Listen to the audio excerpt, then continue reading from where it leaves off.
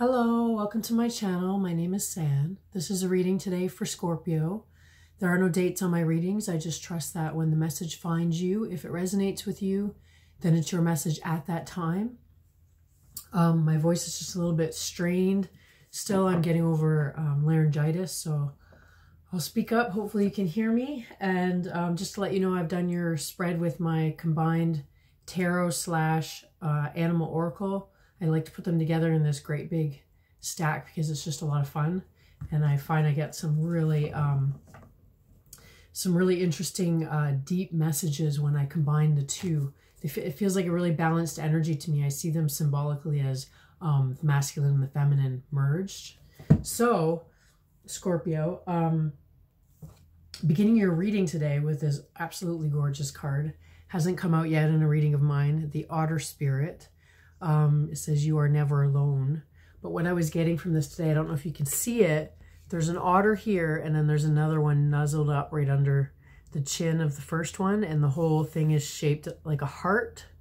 Um, so what I was getting from this today, Scorpio, uh, I almost called you otter.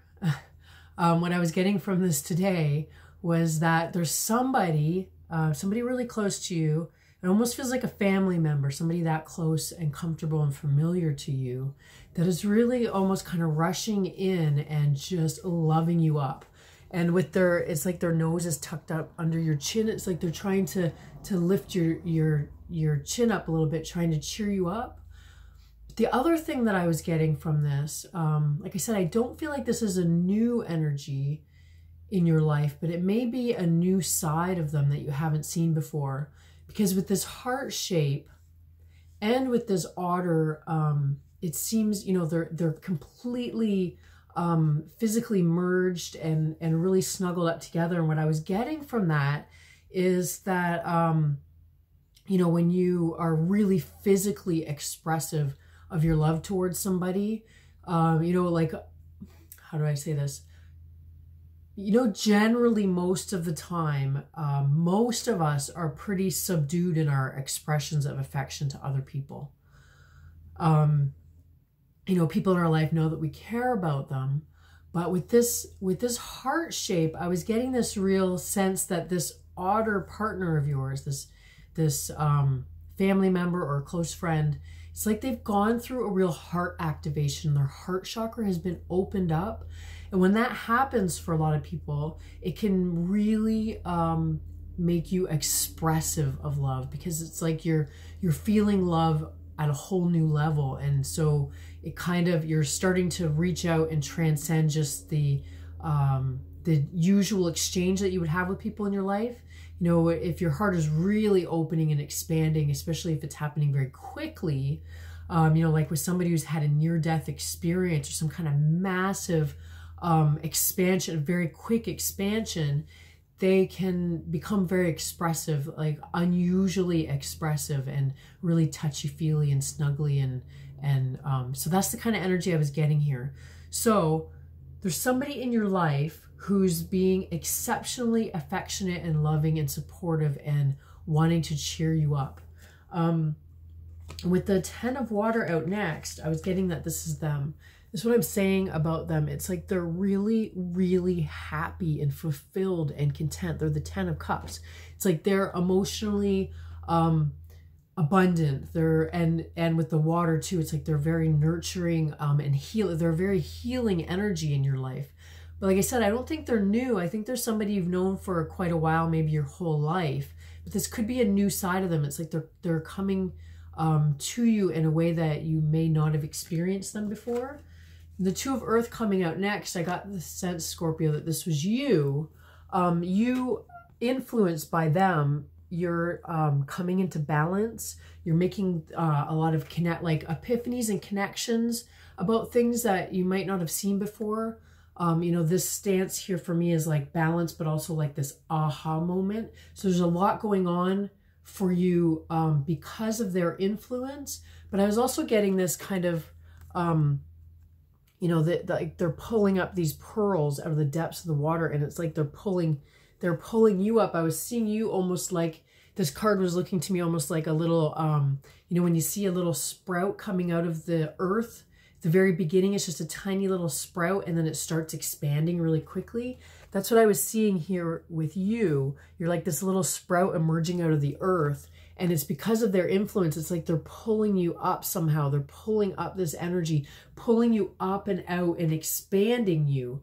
And I was also getting from this card today that um, because, you know, especially in contrast to this card, it's um, a little bit dull. Like I, I was looking at this card thinking it's not really containing visually the energy that I'm feeling from. And I'm feeling a really vibrant, like that bursting of a sprout. It's, you know, the greens, the the colors of a sprout just coming out of the earth is really rich and vibrant and this is a bit dull and i was thinking to myself that i wish i could just crank up like the saturation or the brightness level on this card so that you could see visually what i'm feeling from it and i feel like that was kind of a message about about this character that that you know the, they're rushing in trying to lift your chin up pulling you up. It's like they're wanting to turn your brightness dial up. It's like they see um, the the uh, the potential of your budding sprout in a sense. And it's like they want to just crank up the sunshine crank up the brightness you know speed up the expansion process. They're really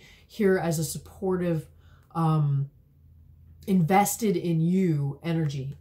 So and also um this is making the rhino spirit coming out next. This is the same the same energy. The rhino combined with this card is um really drawing my attention to that this person, part of what is um, really helping to lift you and to expand you very quickly in their presence is that they're um, they're very happy. They're very uh, humorous and lighthearted. You can see him. He's he's he's totally delightful. And then this rhino, um, because of the way this deck sometimes takes some of these these animals and puts these um these decorations on them it always makes me think it's it's a little bit silly it's like you can't take it seriously so there's something about this energy you know it's like that um you know when the enlightened buddha that just giggles at everything like nothing is really that serious everything to them especially if they've just gone through this heart opening it's like they're they're having this new um this new lease on life where they're feeling really uplifted, really lighthearted and jovial and just, um, you know, wanting to bring humor to uh, every situation. And so, and what that's doing for you, like I said, not only is it, is it helping to sprout you, expand you, bring a lot of growth into your life, um, you know, just, just because of their influence, just because they're cheering you up and they're, they're making you feel really good and, and realizing that, um, you know, nothing is really that serious. Nothing is really that um, intense that we can't overcome it or we can't, you know, see the bright side of it. With the 10 of air coming out next, with this rhino, you know, the rhino, it says overcome any obstacle. Um, you know, it's like they're charging through. But like I said, with this real sense of humor, with this real lightheartedness, the 10 of air is um, the 10 of swords in the traditional tarot, if you know that card it's a figure um, face down in the dirt with all these swords coming out of its back, really intense and dramatic. And that's what I'm saying. This energy here, this rhino coming into your life, um, or showing their their uh, humor, helping you um, become more humorous, is really lifting all of that heavy, karmic, dramatic, um, you know, sword in the back kind of energy. You know, they're coming through and they're just bashing their way through all of that with their lightheartedness. It's not like an aggressive um, energy at all. It's it's totally a playful, cheerful, light, high vibration energy, and it just um, has the effect of almost, um, you know, if you have a ten of swords energy with all that heavy drama and and wounding and pain and betrayal. It's like they're coming in and it's just shifting to this, this, um, they're having this really magical, almost alchemical effect on it where all the swords are suddenly turned into to feathers where you're just feeling like you can just suddenly release it. You know, when you're having a really great time, the dark times, uh, you know, feel a world away and they just don't feel nearly as uh, threatening as they may at other times. So it's like they're really helping you to release all this energy in this really beautiful way, in a really easy way. Um, and the other quick message from from these two cards is that they seem to be like this real bedrock, real solid foundation for you. That's why I feel like they've been around for a long time. I don't feel like they're brand new. Um, and if they are somebody new coming into your life, like I said, this this energy doesn't feel new to me. It almost feels a little bit slow moving and really steady and a strong foundation. So I feel like they've been there for a long time. But if they are new, um, they're not really new, if you know what I mean. It's like you've known them through lifetimes. So um, even if they are brand new to you, they're going to have this feeling like they've been there forever. Um, so after this uh, Ten of Air, the Ten of Swords turns to the Ten of Air and you're able to just blow all of that energy away like light as a feather. The Wheel of Fortune comes in next, of course, because um, the Wheel of Fortune is the is the the uh, wheel beginning to turn. It's like the it's like what I was getting from this card today is almost like um it's almost like this the you know if the wheel of fortune is seen as your fate or your destiny and the turning of the wheel is is your fate or destiny coming into play into action. It's moving it's it's a moving part in your life. It's almost like it's been uh, i was getting the image of like this rusty um you know crank that you would eh, that that got like jammed into a frozen position it got rusted solid. But it's like this person comes in and lightens your load and your vibration and your mood so much that suddenly that crank is able to turn again and you know you can and then you can turn it very very quickly. So it's almost like up until now your destiny or some kind of destined energy in your life was always there but it wasn't active and so there's something about this um, person, this counterpart of yours, that has really um, got that energy moving for you. Their influence or, you know, just having them at your side is starting to move this energy for you, starting to bring some faded um, events into, into play for you. Oh, Scorpio. So let me just catch my breath here. So next is the rabbit spirit along with this grasshopper spirit, um, beautifully, both of them are, um, you know, jumping, leaping, hopping animals. But what I was getting here, there's um, these two little bunnies down here. Those are you two. This It's like an echo of this energy, this gorgeous, like, nestled in, um, beautiful counterpart, um, two of a kind. Um, but like I said, almost kind of feeling like they could be a family member um, you know, maybe you're married and you could have been married for a very long time, but suddenly your partner is um, is a whole new person in the dynamic. Like I said, it's almost like they've had this heart opening. So, it, you know, even though they may have been in your life for a very long time, it's like they're a brand new person. They've had an awakening of some sort.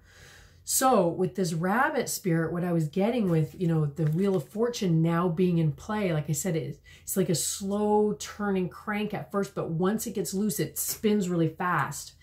Um, that's what I was getting from this rabbit today, um, is the speed of the rabbit being like, the, if you've ever watched a rabbit just jolt across the grass, it's like they're like lightning fast. They're so quick. Obviously, that's why they're in that rabbit and the uh, turtle, the hare and the turtle story. They're lightning fast. Um, so I feel like, you know, and this also hints at abundance. It says luck on this card.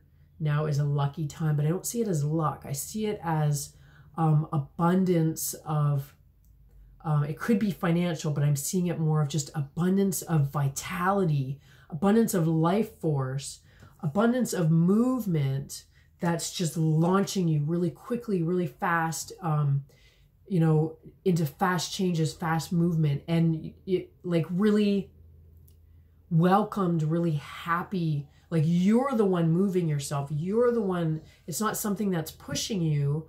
It's not something out of your control. You're absolutely, you're this rabbit and you're just full force um, out of the gate. And with this grasshopper spirit as well, um, take a leap of faith. I was getting from this, this, uh, you know, this grasshopper is on this, this um, foliage here, which often presents itself to me as almost like a, a globe. And then the grasshopper leaping off. Grasshoppers can jump really far and really high and they you know they just launch themselves and that's what i'm what i'm saying about this rabbit here it's like you're launching yourself really far really quickly because this energy is now in play. It's like a catapult launching you quickly, almost like a quantum leap. With this grasshopper, I was kind of getting this quantum leap um, you know, timelines. I started to think about timelines, like if you're leaping off of this um, world, in a sense, if this is a globe, it's like you're leaping into a whole other world. So that's where like timelines started to come into view. Um, and I should point out as well, there was some interesting stuff starting to happen with this rabbit and grasshopper and with another card here. Um, with this design up here, the you know talking about timelines is is starting to uh, remind me to point this out here. This design here, I think it's at the bottom as well, but it's up here. It's like this, um, this, it kind of has this fractal energy about it. It was reminding me of like, if you've ever had a migraine aura, I experienced migraine auras. They're these weird kind of dancing colored lights that come into your, your view from the periphery and then they kind of expand and get bigger. That's what this was looking like, almost a little bit like a migraine aura. But what I was getting from it was that um, it's like this energetic blueprint um, template that's kind of in the background. It's not really part of the action in the foreground or what's going on with all this movement and leaping and launching and, and vitality. It's not quite part of all of this energy up here, but it's just starting to make itself known in the background. It's like it's just start it's just starting to come in and starting to bloom. This awareness. It's like this awareness of a blueprint of another timeline. Like I said, the timeline starting to come into view here.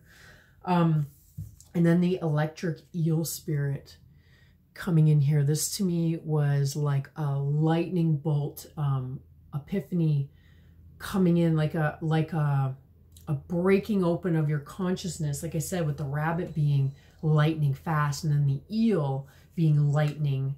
Um, I was getting, you know, in the original tarot deck, the tower card has a lightning bolt coming from above, and that's what causes the tower to crumble. But this lightning um, coming in is actually, you know, very different than that because you've transmuted all that karmic energy and let go of all that heavy weighted energy that was holding you down, holding you into a, in a dense place and keeping your fate from coming into play. Now that you you've you've passed this threshold or um, passed through this portal in a sense, you know, starting to bring into view some uh, original blueprints, some alternate timelines, and then this this eel, this lightning bolt coming in like I said, comparing it to the tower card, the tower, if if it had come in before this moment, if this lightning had come in before this transmutation had occurred, it could have been a tower moment for you. But because you've already released all of this energy, it's a very different experience. It's like a, it's like a breaking open of your consciousness. I was getting this like like um you know this cartoon image of of a cartoon character getting like hit in the head by a two by four and then their vision being split and that's where these uh these timelines you know like i said these timelines were starting to to sneak in and make themselves known and then this lightning bolt like hitting you in the head and it like it splits your vision into uh, a plethora of timelines with the world card out next this is gorgeous it's like i said it's like it's like, um, you know, splitting your vision into, um, you know, if you cross your eyes, you get, you can see double images. It's like that, but it's a spreading out of your timeline.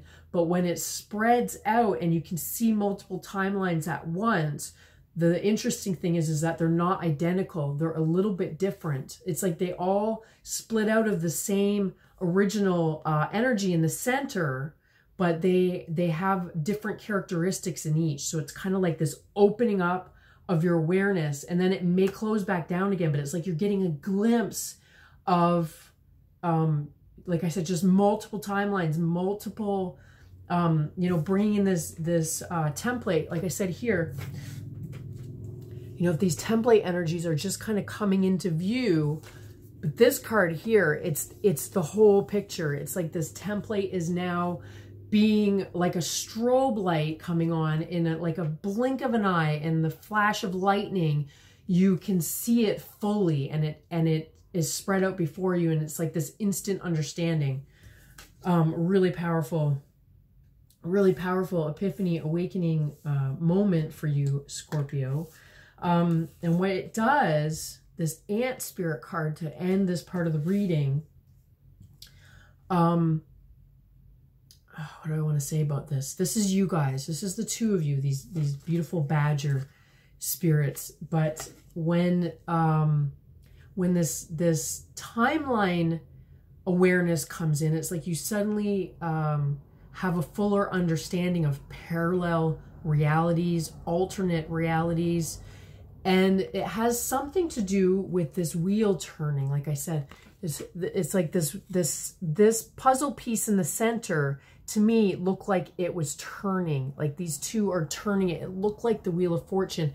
So there's something about the two of you together um, at this time and the way your energies are working together that is causing this wheel to turn. And in the turning of that wheel that is causing this this um breaking apart of the timelines it, you know it's like spreading out a map in front of you that you didn't have access to before. So it's like the two of you together says time to collaborate. The the, the two of your energies together um is opening up your vision of the future or you know of of eternity. It goes in both directions. It goes in the past it goes in the future. But there's something about the two of you together that's causing that to happen. Um so really big energies really really um you know it, it, this is stuff that changes your life. This is like you can't go back from this. The second you get a glimpse of you know multiple timelines uh, you can't go back. It changes your life forever forever forever. So scorpio i'm going to keep pulling cards and see what happens what what unfolds further. If you're interested link is in the description box. And if not i'll see you next time scorpio. Thanks. Bye